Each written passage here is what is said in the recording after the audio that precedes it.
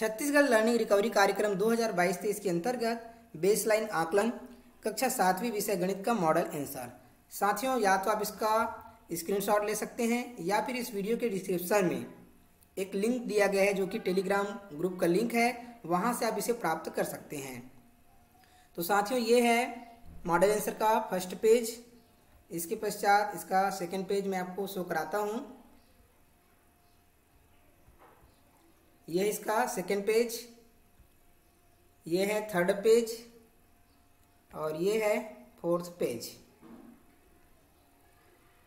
तो दोस्तों, आज की इस वीडियो में बस इतना ही. धन्यवाद.